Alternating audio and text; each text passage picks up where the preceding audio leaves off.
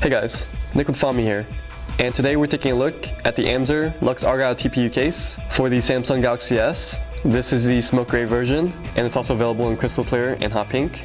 The case is made entirely of TPU, which basically gives you the high gloss look of a hard case, mixed with the flexibility and shock absorption of a silicone. The case covers up the entire back, sides, and corners of your device, so it gives you great overall protection, and it also allows full access with cutouts for your camera, LED flash, your speaker, and on the side they have cutouts for your power button, along with your micro SD slot, your volume, and cutouts at the top for your headphone jack, your charging port, and your mic at the bottom. The case is really flexible and durable, and it's also pretty simple to install.